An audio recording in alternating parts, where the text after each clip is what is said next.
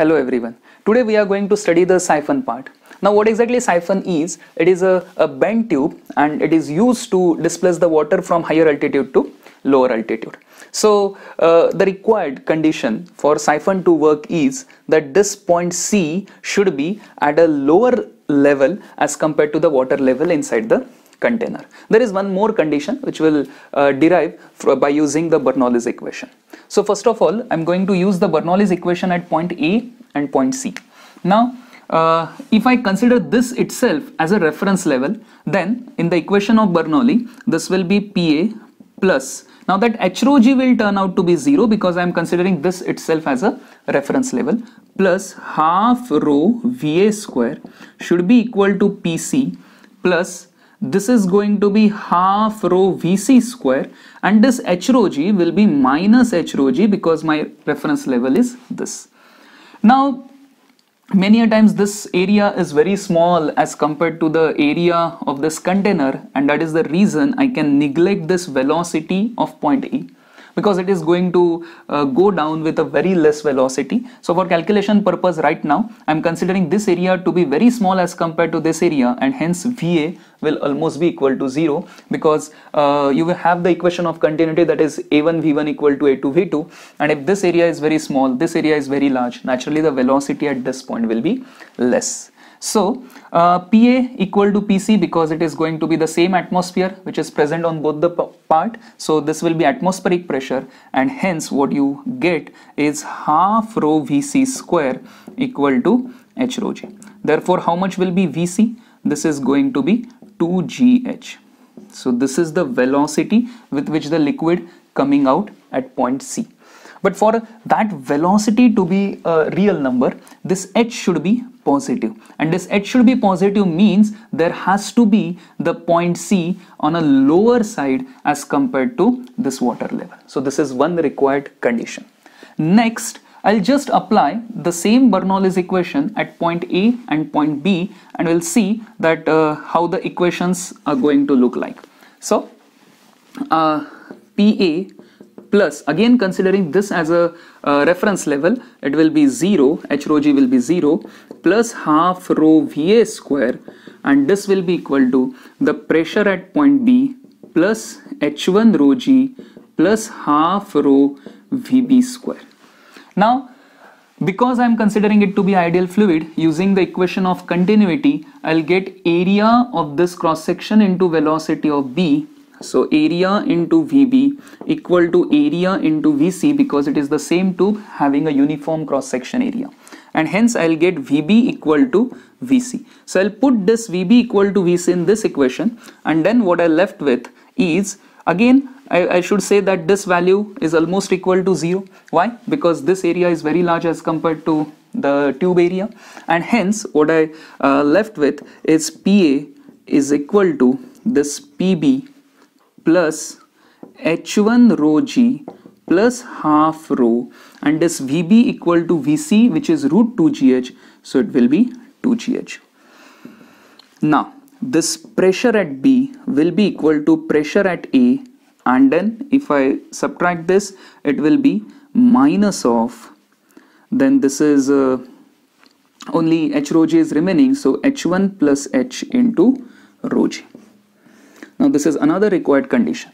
Now if I increase this h plus h1 means suppose if I am having the tube something like this and now if I increase this level that is h1 plus h2 has been increased in that case naturally your pressure at B will keep on decreasing.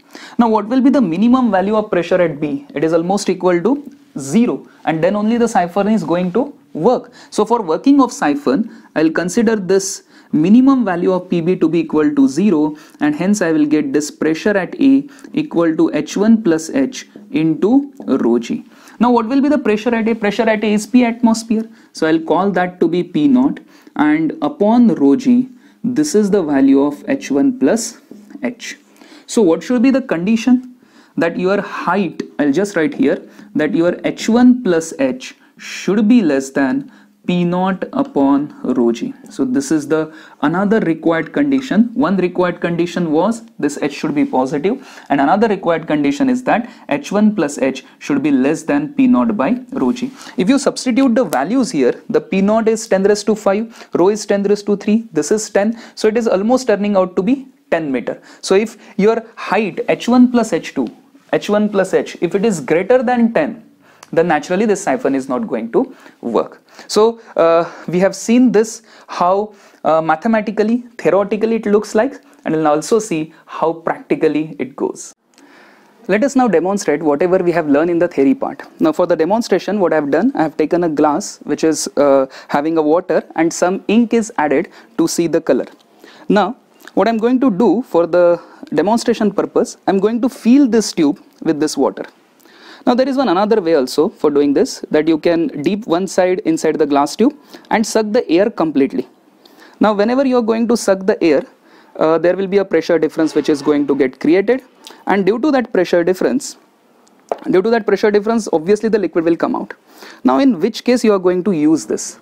Now you, are, you can use this for uh, emptying some big tanks now in that case sucking the air is not uh, that much possible. So what you have to do is you have to fill that tube completely and then allow that water to come out. Sometimes it may happen that nearby some farm a big canal is going and there is no electricity. So in that case again you can take a big pipe, uh, fill in the same manner put one side inside the canal and other in the farm and without any electricity you can get the water to your farm. So the same thing I am going to demonstrate now. Now what I'll do is I'll just dip the one part of this inside the glass and I'll just hold it with this so that it doesn't come out. Now if you see carefully over here the water level goes in the same uh, level as that of the water inside the glass tube. If I raise it, just see it goes down and it matches with the same level. If I take it down, again slowly it will increase and it will come to the same level. Now if I want to take out this water, what I'll do, I'll just go a little bit on the lower altitude as compared to the water level. And now you can see that this particular water started coming down. Now it is coming down with a very little speed just because of some uh, pressure which is getting applied because of this holding over here. So I'll just release some amount of pressure and this is how you are going to get it now if I keep it at this place so naturally what is going to happen now the liquid which is there inside this glass will pass to this till the point the height in both the things become same now if I raise its level then obviously as compared to this level this is at a lower side and naturally the water will go from this side to this side. Now this will happen till the point the height in both the cases become same. Now if I do it over here again then the liquid will go from here till here till the point your H is positive. This is the mandatory condition and in this way you can completely empty your tank. Now just see the flow and you can see that yes we can empty the complete tank. So this can be a good exercise for emptying it as well as it's a fun for learning it. So I'll just wait till the point it gets completely uh, getting the equal height and I hope you have enjoyed and this is how you are going to use it for many practical purposes. So siphon is really very important. So thanks for watching.